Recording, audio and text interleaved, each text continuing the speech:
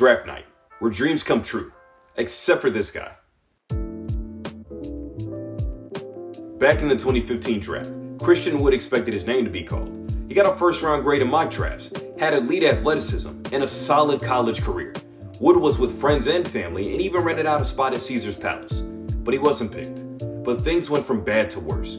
When Wood later dropped his girlfriend off at the airport, she dumped him, and he never saw her again, putting a terrible ending on a nightmare of a day. But Wood didn't let himself get down. He bounced around the league after that. But in the 2019 2020 season, he finally found playing time on the Detroit Pistons and put up solid numbers. It caught the eyes of the Rockets, who signed Wood to a three year, $41 million deal as he develops into a rising star. I wonder where Christian's ex girlfriend is at now.